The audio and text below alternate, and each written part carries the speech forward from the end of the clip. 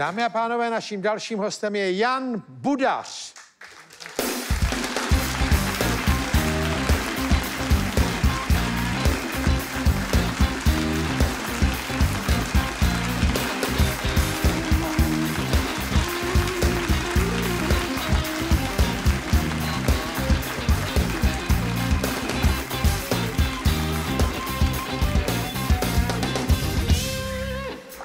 Milý kolega Jan Budař, který byl herec a teď je i režisér a producent, protože se do toho pustil taky.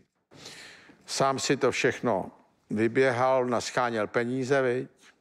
A natočil film Mamánek. Princ Mamánek. Princ Mamánek. Hraješ Mamánka?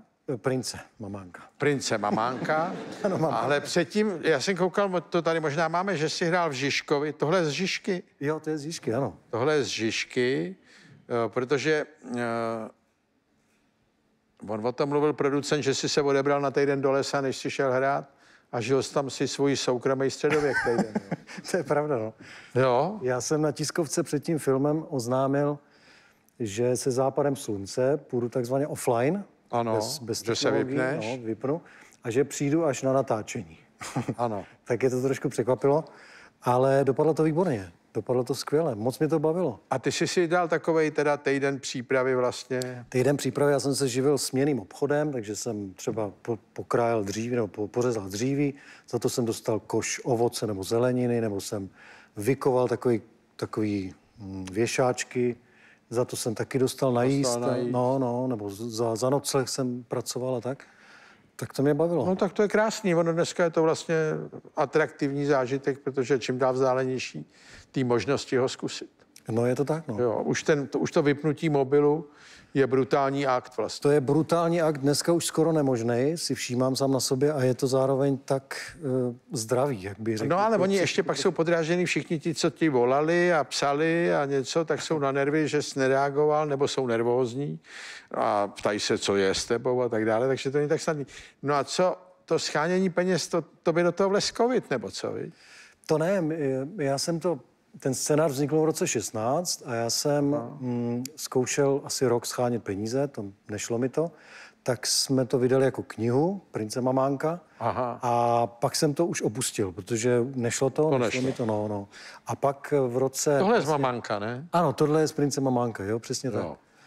No a promiň, a no pak si a- teda to obnovil A 2018? pak jsme to 2018 obnovili, když jsem potkal Kubu Červenku, režiséra a producenta, který to se mnou do toho zase, Zase nastoupil. A, a zdo, No ono to není legrace, že jo? To scháně to trvá, ne? To trvá a hlavně, když člověk má natočit svůj první film a žádný za sebou nemá, tak je to Těžší je složitý přesvědčovat. získat důvěru, protože to je prostě drahá věc. Film. Drahá věc a nemá se tak jako moc na co odvolat. No ale tak se ti to povedlo. Povedlo. To natočil. Povedlo, je to natočený, jsem z toho úplně nadšený. Eh, Hrajou tam skvělí herci a je to To jsi taky tam neměl jednoduchý s těma hercema, vy? Taky to nebylo jednoduché. No. Já jsem to původně psal pro mm, Josefa Abrahama a Libušku Šafránkovou, ty role královny a krále, vlastně moje rodiče.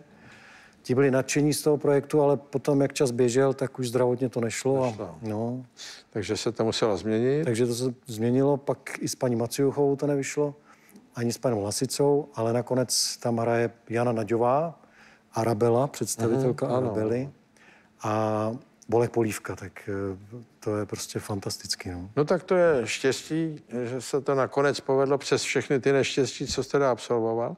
Hele a mm, ty, když eh, jsi to natočil, tak jak si pak postupoval? Stříhal jsi to sám, nebo si řekl někomu, nebo si měl někoho, kdo ti byl takovým supervisorem? Ne, ne, ne, střihače, stříhal to Braňo Vince, slovenský filmař a střihač, výborný. A byli jsme teda spolu, stříhali, já jsem byl u toho, ale jinak jsem kolem sebe měl fantastický tým. Jo. S Janem Malířem, kameramanem, Aha, výborným. kameramanem, jo. No, Olgou Malířovou Špátovou, jeho manželkou. No tak ti to trošku pomohlo, ne? Tak hm, herec seš furt dál, ale tímhle jsi si zpestřil trošku život, ne? Výrazně jsem si ho zpestřil, Jo. no, výrazně. Byl trošku unavený už jenom z toho hraní. Uh, unavený, no to tro, trošku mě jako přestali bavit ty český komedie furt na stejnou notu, Ano, to tak. tak to tak nějak už mě moc tak nebavilo. No. Tak si chtěl najít něco nového, tak to se ti povedlo. Tak jsem vymyslel, napsal vlastně tenhle příběh. No to tak je. Když se ti to nelíbí, pomož si sám. Pomož si sám, přesně no, tak. ale to je oblíbený recept. A já to dávám často. A oni jsou lidi popuzený. Když řekneš, tak to udělej ty, nebo udělej si sám film. Přesně tak. No, tak všichni jsou taky trošku dočím, ono je to strašnýho úsilí. Je to, je to obrovská práce, je to obrovský úsilí. Člověk si to neumí představit, dokud tím neprojde, ale je to tak. A já tam byl navíc v těch pěti rolích, co jsem tam zastával. Mm. Producent, herec, režisér, scénarista a ještě jsem složil hudbu. Takže, Aha. takže to bylo fakt... Už je tam je velmi malý prostor, kde je někdo jiný, ale tohle, no, a to je jedno, ono to tak má být svým způsobem. Tak to je prostě autorský film, to je něco, to je kategorie, že jo, to je jako protipol toho komerčního business plánu. A e, tak to má být a ono to má svůj půvab, že ten člověk to má plně v rukou, zdánlivě, jak to tak jde. Ono pak, když jde o peníze a nejde počasí třeba, tak to jsou zvláštní stavy, který člověk prožívá. Viď? To, je, to, jsou, to jsou kolapsy chvílema. To, Jo? No, A měl jsi z toho třeba narušený spaní nebo tak?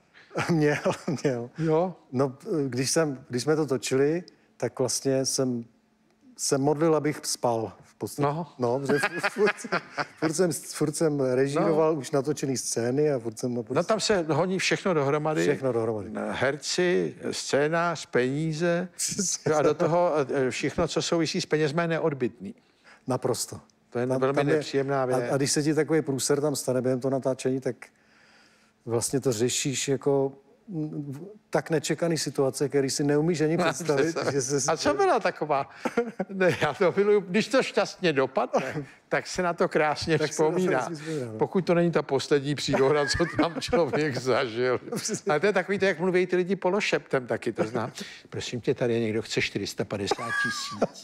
Že prej tady včera dal ten přívěd. A mluví takovým jako intimním polohlasem, jako aby to nerušilo to okolí. Zažil jsi to takový ty nehody? My jsme zažili jeden den, kdy nám pršelo, začalo pršet asi v 10 dopoledne a nečekali jsme, ne, nechtěli jsme, aby pršelo. No bodej, no. To, to, Ale pršelo tak, že to byly provazy deště a byly celý den až do 6 do večera.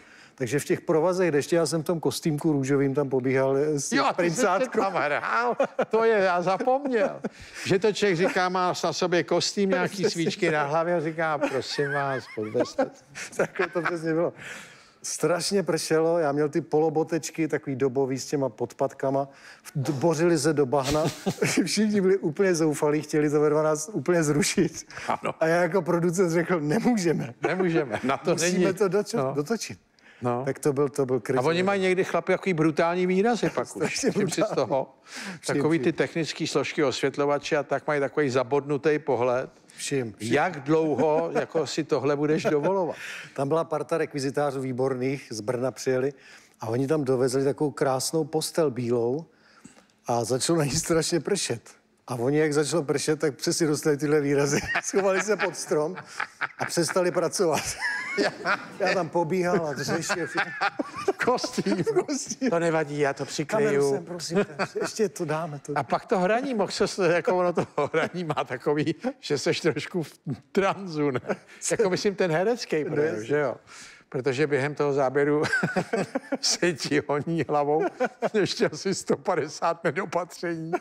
Kdy přijde to auto, přišla ta faktura včera. A to, chtěl bych, Ježíš, teď jsem zapomněl tu větu. Ano, promiň, hrajeme. Jo, ty už jsi mluvil, aha, promiň. No a tak to tě ctí, ono je to něco, co se nedá nahradit, než to absolvovat. Je to tak. Takže Zlatý Žížka, kde jsem byl jenom herec mm. a užíval jsem si středověk, luxus, týden jsem Pohodlí nic. středověku. Přesně tak. Jo. A pak jsem si dal kafíčko v karavanu a koblihu a, a obídek. A... Počkej, my tady máme asi z toho nějaký kousek, kde... Jo, to je z Žižky asi. Jo, jo, jo. jo.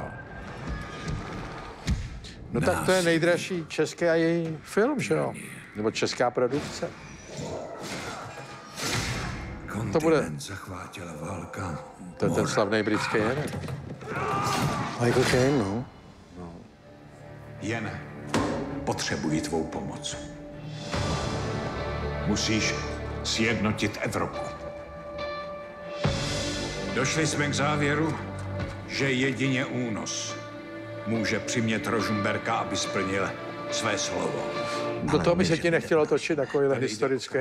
Ne, to já Petra obdivuju, že to, že to dal. já taky obdivuju. Protože to je, to v porovnání s naším filmem, to je asi tak Mamánkem. stonásobný s mamánkem. Ale, eh, takže když vím, co... co Mamánek byla taková příprava na to, aby si řekl, že Žižku rozhodně dělat nebude. ne, to, je, to je skutečně jako pro mě nadlidský výkon. To je, Ne, pro mě taky. smekám. No a já si myslím, že nemůžeš být úplně v pořádku, když se pustíš do takového. Když si uvědomíš, co všechno hrozí, tak já bych řekl, to nejde. Oblíbený český to nejde. A mám 100 argumentů. Přesně tak. A musíš vlastně, každý to nejde překonat a jít dál a dál a dál, tak to je o tom. to No, je. no je to To tak. byla škola života ten rok, co jsem zažil tady s tím filmem. Ale jako O tom obrovská, nepochybuju. Ne, o obrovská. tom nepochybuju. No tak se budeme těšit. Děkuju. Děkuju. Jan Budas.